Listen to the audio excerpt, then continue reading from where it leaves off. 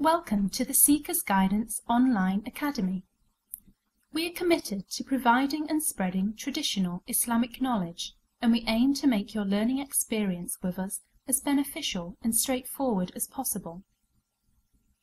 Registering for an online course is easy. Just click on the Register button next to your chosen course, and this will redirect you to the registration page. If you are unsure about which of our courses may be right for you, please contact us and we will be happy to help you make your decision. Upon registering for an online course, the course administrator will send you an email containing your login details as well as information about Seekers Guidance course policies. Please familiarize yourself with these prior to starting your course. Once the courses begin at the start of a semester, you will be able to download weekly lessons and supplementary study materials at your own convenience. You can download these lessons to your computer or MP3 player and take the lessons at any time you choose.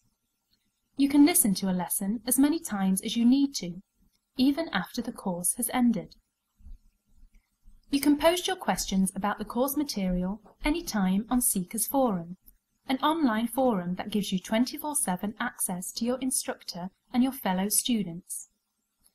Throughout the course you will be provided with review material and associated questions, which help you to assess whether you should repeat a lesson or whether you are ready to progress on to the next. You will also be able to participate in scheduled live sessions with your instructor and fellow students, where you can get further clarification or elaboration on the course material in the form of questions and answers.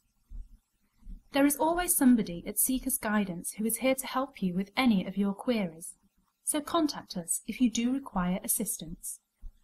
We hope that you enjoy your experience with the Seekers Guidance Online Academy and that you find continuous benefit in seeking this sacred knowledge.